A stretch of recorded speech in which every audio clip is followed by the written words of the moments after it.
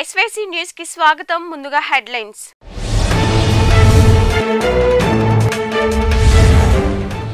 ఘనంగా స్పీకర్ కోడెల శివప్రసాద్ జన్మదిన వేడుకలు. రెండవ రోజుకు చేరుకున్న జగన్ దీక్ష.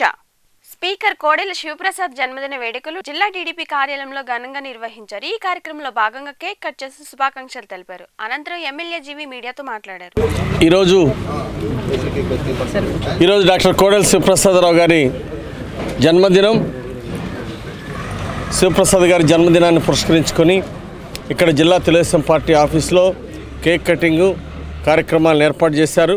అలాగే నిర్మల హృదయలో మరి పేదవాళ్ళకి పండ్లు పంపిణీ చేయడం జరిగింది. ఈ సందర్భంగా ఆంధ్రప్రదేశ్ తొలి స్పీకర్ డాక్టర్ కోడల శివప్రసాదరావు గారికి జన్మదిన శుభాకాంక్షలు తెలియజేస్తున్నాం. గుంటూరు జిల్లా తెలుగుదేశం పార్టీ తరఫున నాయకులు కార్యకర్తలందరి తరఫున వారికి జన్మదిన శుభాకాంక్షలు తెలియజేస్తున్నాం. అలాగే వారు మరెన్నో పుట్టినరోజులు జరుపుకోవాలని భగవంతుడు వారికి నిండు ఆశీస్సులు ఇచ్చి నిండు నూరేళ్ళు సుఖ సంతోషాలతో ఆనందంగా ఉండాలని ఈ రాష్ట్ర అభివృద్ధిలో మరెంతో భాగం పంచుకోవాలి భవిష్యత్తులో కూడా అని చెప్పేసి ఆకాంక్షిస్తూ భగవంతుని ప్రార్థిస్తూ ఉన్నాం. అలాగే డాక్టర్ కోడల సుప్రసాదరావు గారు గతంలో కూడా మరి ఈరోజు స్పీకర్గా రాష్ట్ర అభివృద్ధికి ఎంతో సేవలు అందిస్తున్నారు. గతంలో వారు సమైక్య ఆంధ్రప్రదేశ్ ఉన్నప్పుడు కూడా అనేక శాఖల్లో మంత్రులుగా మంత్రిగా పనిచేసి రాష్ట్ర అభివృద్ధిలో కీలక బాధ్యత నిర్వహించారు. అనేక శాఖలను చేసి ఆ శాఖల్లో వారికి వారే సాటి అన్న విధంగా మరి ప్రజలను మెప్పించడం జరిగింది. అన్నాడు ఎన్న ఎన్టీ రామారావు గారికి ఒక కుడిభుజంగా తర్వాత చంద్రబాబు నాయుడు గారికి ఒక కుడిభుజంగా మంత్రిగా ఉండి రాష్ట్రాభివృద్ధిలో ఎంతో భాగం పంచుకున్నటువంటి కోడలి సుప్రసాదరావు గారికి ఈ సందర్భంగా ప్ర అందరి తరఫున ప్రత్యేక అభినందనలు తెలియజేసుకుంటా ఉన్నాం. ఈరోజు అనేక సేవా కార్యక్రమాలు ఏర్పాటు చేశారు. స్పీకర్ గారి పుట్టినరోజు సందర్భంగా బర్డ్స్ హాస్పిటల్ క్యాంపు నిర్వహించడం జరుగుతూ ఉంది. అలాగే అనేక చోట్ల అవయవ అవయవదాన కార్యక్రమాన్ని కూడా ఈరోజు ఏర్పాటు చేయడం జరిగింది. పదివేల మంది పైగా అవయవదానం అనేటువంటి చక్కటి కార్యక్రమాన్ని రైతు దీక్ష రెండవ రోజుకు ప్రారంభమైంది. జగన్ దీక్ష ప్రాంగణానికి ఎమ్మెల్యేలు ఎమ్మెల్సీలు పలువురు ప్రముఖులు హాజరయ్యారు. ఈ సందర్భంగా ప్రతిపడు ఇన్ఛార్జ్ సుచరిత మాట్లాడుతూ రామరాజ్యం జగనన్న రాజ్యమని తెలిపారు. ప్రస్తుతం మిర్చి రైతులకు గిట్టుబాటు ధరలు కల్పించలేని స్థితిలో ప్రభుత్వం ఉందని అన్నారు. అనంతరం యువజన అధ్యక్షులు ఉమామేశ్వర్ రెడ్డి మాట్లాడుతూ చంద్రబాబు అరచకత్వ పాలనకు ముగింపు దశ వచ్చేసిందని అన్నారు. రైతులకు న్యాయం జరిగే వరకు రైతుల పక్షాన జగన్ వారి పక్షాన రైతులు ఉంటారని తెలిపారు. అన్ని పోలీస్ స్టేషన్లు పెడతాను చెప్పి చేస్తాను వేల కోట్లు పెట్టాలంటుంటే ఈ చంద్రబాబు నాయుడు గారు బడ్జెట్లో దాన్ని ఊసే ఎత్తలేదు ఏ ఒక్క హామీ నిలబెట్టుకోలేదు కొన్ని అక్క చెల్లెలు బాగా చూసుకుంటారా అని అంటే ఆ అక్క చెల్లెలకు నేను సెల్ ఫోన్లు ఇస్తాను అన్ని పోలీస్ స్టేషన్లు పెడతాను అవి చేస్తాను ఈ చేస్తాను అని చెప్పి డాక్టర్ రుణాలు పూర్తి మాఫీ చేస్తానని చెప్పి అవి చేయకపోయాడు ఏ ఒక్కటి చేయనటువంటి ముఖ్యమంత్రి గారు చరిత్రలోకి ఎక్కుతున్నాడు ప్రచార ఆర్భాటం ఈయనకైనా వెంకటేశ్వర స్వామి అనుకుంటాడు ఈయనకైనా ఆ స్టేజ్ ఎక్కి ఆ డాన్స్ వేసే విధానం చూస్తే సిగ్గుతో ఏంటి ఒక ముఖ్యమంత్రి అనేటువంటి నువ్వు మర్చిపోయి నువ్వు చేస్తున్నట్టు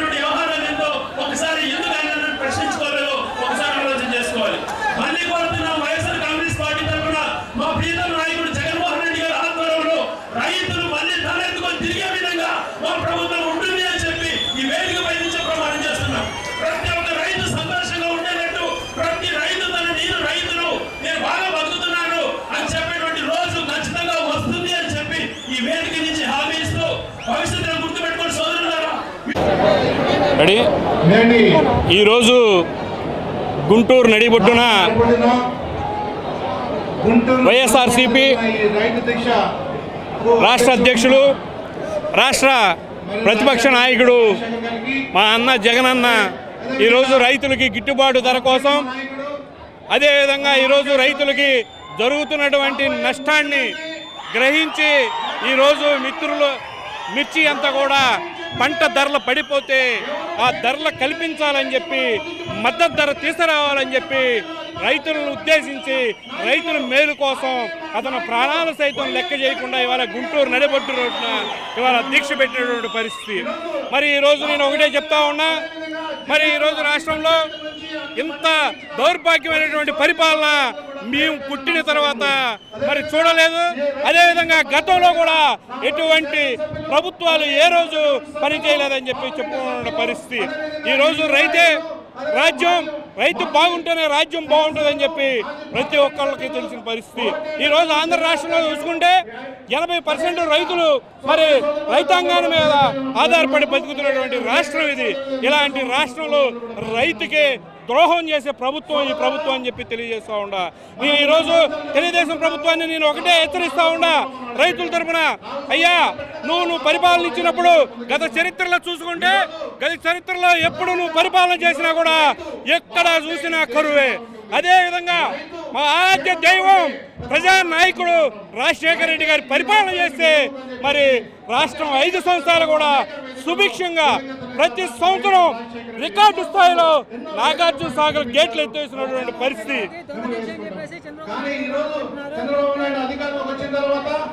రాజశేఖర్ జగన్మోహన్ రెడ్డి గారి దొంగ దీక్ష లేక నువ్వు నీ కొడుకు చేస్తున్నటువంటి పరిపాలన దొంగ పరిపాలన దోసుకున్న పరిపాలన దమ్ము ధైర్యం ఉంటే రాండి ఎలక్షన్లోకి వెళ్దాం. ప్రజాక్షేత్రంలో తేల్చుకుందాం జగన్మోహన్ రెడ్డి గారు దొంగ దీక్ష చేస్తున్నారు. మీరు దొంగ పరిపాలన చేస్తూ ఉన్నారు అని చెప్పి తెలియజేస్తూ ఉన్నా. మీరు జగన్మోహన్ రెడ్డి గారు కానీ అర్హత మీకుందా? మరి ముఖ్యంగా వైఎస్ఆర్ కాంగ్రెస్ పార్టీ యువజన విభాగం తరఫున లోకేష్ గారిని నేను ఒకటే హెచ్చరిస్తూ ఉండా నువ్వు జగన్మోహన్ రెడ్డి గారిని పోల్చుకుంటే నువ్వు నేల మీద ఉండి ఆకాశానికి చూసి ఉమ్మేసుకున్నటువంటి పరిస్థితి. లాంటిది జగన్మోహన్ రెడ్డి గారికి నీకు నక్కకి నాగలోకానికి ఉన్నంత తేడా ఉంది. జగన్మోహన్ రెడ్డి గారి పక్కన కూర్చోడానికి కూడా నువ్వు సరిపోవని చెప్పి నేను ఈరోజు నేను నీకు తెలియజేస్తా ఉన్నా. ఈరోజు రాష్ట్రంలో రైతులు అనుభవిస్తున్నటువంటి కష్టాలకు రైతులకు మద్దతుగా గత రెండు రోజులుగా జగన్మోహన్ రెడ్డి గారి దీక్షకు సంఘీభావం తెలియజేయడానికి ప్రతిపాడు నియోజకవర్గం నుండి పెద్ద ఎత్తున రైతులందరూ కూడా తరలి రావడం జరిగింది. మరి ఆ రోజు రాజశేఖర రెడ్డి గారు రైతు బాగుంటేనే రాష్ట్రం బాగుంటుందని ఆయన రైతులకు ఉచిత విద్యుత్ ప్రకటించి మరి ఆ రోజు చెప్పనటువంటి కేంద్రంతో మాట్లాడి రుణమాఫీ చేయించినటువంటి మహానుభావులు రాజశేఖర రెడ్డి గారు. మరి ఈరోజు చూస్తే రుణమాఫీ చేస్తామన్నటువంటి వాగ్దానంలో అధికారంలోకి వచ్చినటువంటి తెలుగుదేశం పార్టీ కనీసం రైతు సంక్షేమం గురించి వారు కష్టపడి పండించినటువంటి పంటలకు కూడా మద్దతు ధర ఇవ్వనటువంటి ఈ సందర్భంగా రైతులు చాలా కష్టాలు దొంగ దీక్ష ఎలా అవుతున్నాయి. అంటే ఈ రోజు ఏ రైతునని అడగండి? ఇక్కడ చాలా మంది రైతులు ఉన్నారు. వాళ్ళు నిజంగా సంతోషంగా ఉన్నారు. అంటే ఖచ్చితంగా జోగ దగేజం గారిది వాళ్ళు అన్నది ఒప్పుకోవచ్చు.